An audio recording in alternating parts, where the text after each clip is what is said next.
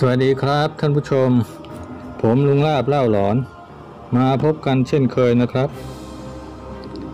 วันนี้ผมจะมาเล่าเหตุการณ์ เหตุการณ์หนึ่งที่เกิดขึ้น ตอนนั้นผมบวชเป็นสามเณรอยู่ที่วัดทั้งภาคเหนือ วัดหนึ่งอยู่ทั้งภาคเหนือครับ ช่วงที่ผมอาศัยอยู่ที่วัดนั้น ผมก็อยู่กับหลวงตาครับ เป็นกุฏิไม้ อยู่ใกล้ๆเมนนั่นแหละครับ หลวงตาก็ไม่ค่อยจะแข็งแรงเท่าไหร่ ผมก็เป็นลูกศิษย์ก้นกุฏิท่านนะครับ คอยปฏิบัติท่าน บริเวณใกล้ๆเมน รอบๆเมนนั้นน่ะ มีกุฏิแบบนี้ครึ่งไม้ครึ่งปูนนี่หลายหลังเลยครับ จะเรียกว่ากุฏิก็ไม่น่าจะใช่ เพราะว่าห้องแถวนี้ เขาเอาไว้เก็บศพนะครับท่านผู้ชม เป็นศพที่ญาติยังไม่ต้องการจะเผานะครับ หรือชาปนกิจนั่นเองนะครับท่านผู้ชม ทางญาติของผู้ตาย ก็จะมาเช่าห้องห้องบริเวณนี้แหละครับ ที่อยู่ใกล้ๆเมนเนี่ยเอาไว้เก็บศพ บางศพก็จะเก็บไว้สามเดือน บางศพก็จะเก็บไว้เป็นปี ก็แล้วแต่ทางญาติของผู้ตายนั่นแหละครับ ห้องถัดไปสามห้อง ก็มีพระอาศัยอยู่ครับ มีพระประจำอยู่สามห้องครับ ห้องที่สี่ที่ห้าที่หกถัดไปโน้น ก็ได้มีการล็อกใส่กุญแจไว้นะครับ ปิดกุญแจไว้อย่างมิดชิดเลยนะครับท่านผู้ชม เลยสามห้องที่ใส่กุญแจไว้นั่นนะครับ มีต้นไม้อยู่ต้นหนึ่งร่มเย็นมากเลย เขาทำแคร่ไว้สำหรับนั่งเล่น ผมก็ไปอ่านหนังสือที่นั่นนะครับ อ่านหนังสือธรรมะ ช่วงนั้นเรียนนักธรรมอยู่นะครับ ที่ใต้ต้นไม้นี้ สงบร่มเย็นจริงๆเลย ไม่มีผู้คนเดินผ่านไปผ่านมา ไม่มีใครมาแถวนี้เลยนะครับ เงียบสงบลมพัดเย็นสบายจริงๆเลย ผมนั่งอ่านหนังสืออยู่ที่ใต้ต้นไม้นั้น อยู่จนถึงเย็นเลยครับที่ท้องฟ้ามองออกไปไกลๆก็เห็นเมฆฝนครึ้มมาฝนน้ำท่าจะตกแน่นอนเลยครับ ผมก็เก็บหนังสือครับ เก็บหนังสือเสร็จผมก็เดินกลับกุฏินะครับ ผมระหว่างทางเดิน ก็จะต้องผ่านห้อง สามห้องนั้นแล้วครับ ที่ท้ายวัดนี้ ช่างเงียบสงบจริงๆ ไม่มีผู้คนเดินผ่านไปผ่านมาเลยแม้แต่คนเดียว เงียบจริงๆ ฝนตกลงมาพอดี ผมก็เลยต้องหยุดหลบฝนอยู่ที่หน้าประตูห้องนี้แล้วครับ ห้องที่ใส่กุญแจไว้นี่ ฝนก็ตกลงมาพักใหญ่แล้ว ก็ยังไม่มีทีท่าว่าจะหยุด แต่ก็สางเม็ดลงไปเรื่อยๆทำท่าว่าจะตกปล่อยๆไปอีกนาน ถ้าเป็นแบบนี้นะครับ ผมก็ยืนรอดูสักพักหนึ่งก็ยังไม่หยุดอีก ผมก็เมื่อยขาแล้วครับ ก็เลยนั่งลงที่หน้าประตูนี้แหละครับ นั่งลงรอให้ฝนหยุด แต่คุณผู้ชมครับ สิ่งที่ไม่น่าเชื่อก็เกิดขึ้น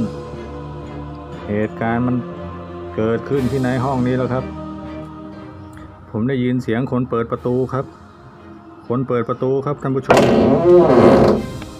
เสียงมีใครเปิดประตู ประตูที่ข้างหลังผมใกล้ๆที่ผมนั่งอยู่นี่ครับท่านผู้ชม ผมก็หันไปมองที่ประตูครับ ด้วยความสงสัย แต่ผมก็เห็นประตู ปิดอยู่ดีๆ นี่เลยครับ แต่ทำไมทำไมมันมีเสียงเหมือนคนเปิดมันออกมา แถมยังมีลมพัดวูบผ่านตัวผมไปครับ คล้ายกับว่ามีคนเดินออกจากประตูนี้ ผ่านผมไปข้างนอกนั่นแหละครับ เป็นไปได้ยังไง ไม่น่าเชื่อเลยครับ ลมที่พัดวูบไปนั่น มันคือลมอะไรกัน มันช่างเย็นเยือกเลยนะครับ ผมก็ยังไม่แน่ใจอีก ผมก็เอามือจับที่ประตูนะครับ ก็ลองเปิดดู มันก็เปิดไม่ได้ครับ เพราะมันมีลูกกุญแจล็อกอยู่ ล็อกอยู่ที่หน้าประตูนั่นแหละครับ ฝนก็ตกลงมาปล่อยๆ ยังไม่หยุดสักที คราวนี้ ผมก็นั่งไปอีกสักพักหนึ่ง ก็ได้ยินเสียงประตูเปิดอีกแล้วครับท่านผู้ชม คราวนี้ มีลมพัดวูบ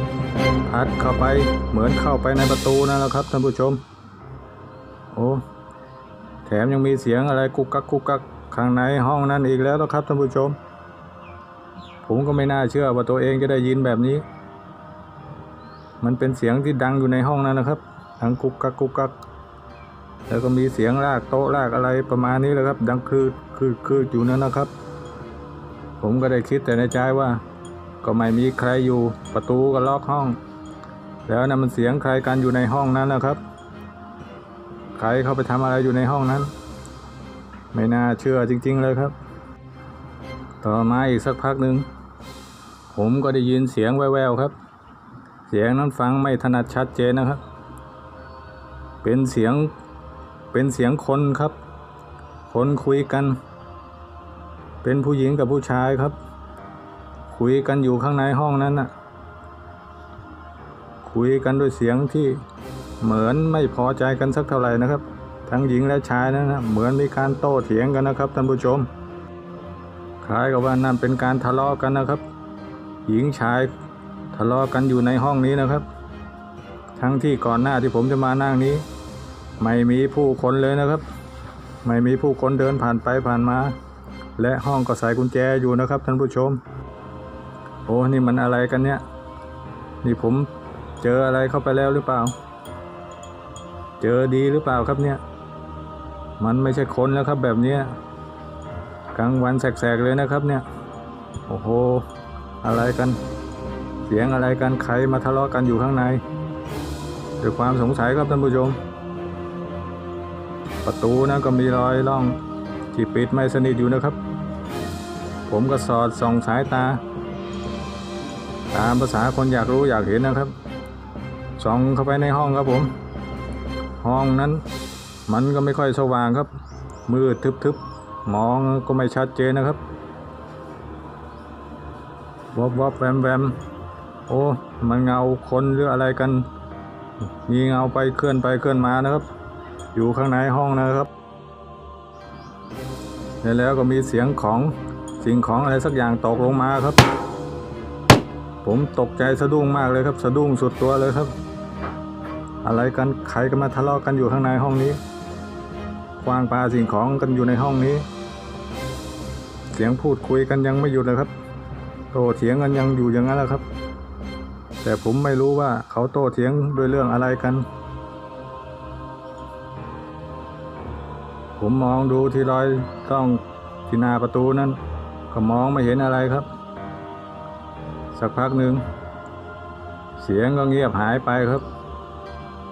ก็มีเสียงเปิดประตูอีกแล้วครับท่านผู้ชม ประตูที่ผมอยู่ตรงนี้แล้วครับ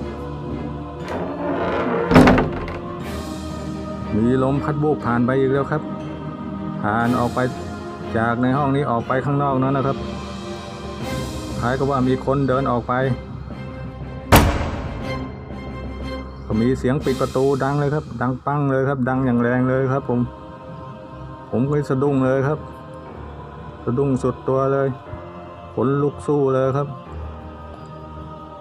ขนลุกไปทั้งตัวเลยครับคุณผู้ชม จะด้วยสิ่งใดก็ไม่รู้ ผมก็กลับมีสติขึ้นมา ผมก็นึกก็ได้ว่าฝนมันหยุดตกแล้วนี่นะ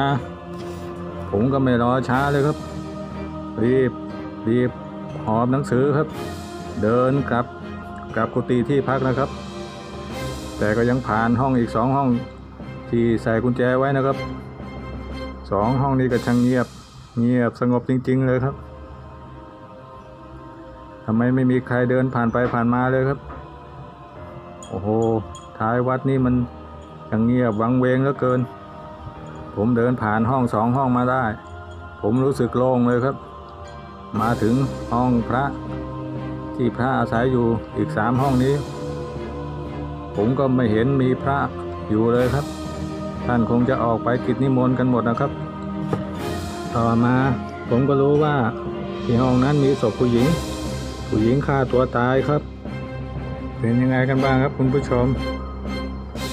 เจอผีที่ห้องเก็บศพ หากคุณผู้ชมชอบ กด Subscribe กดติดตามลุงลาบ กดกระดิ่งด้วยนะครับ ลุงลาบก็จะมี